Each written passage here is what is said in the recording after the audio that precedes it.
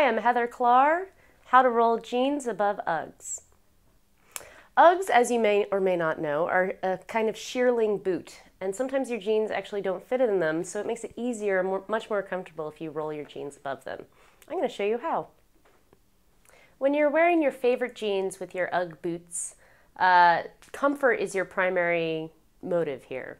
Uh, Uggs are traditionally sort of like a mid calf kind of length, which is sort of a peculiar length, sometimes with jeans or pants, and also depending on your hem circumference of your jeans, if they're boot cut or a wider leg, rolling them up could be a really great option.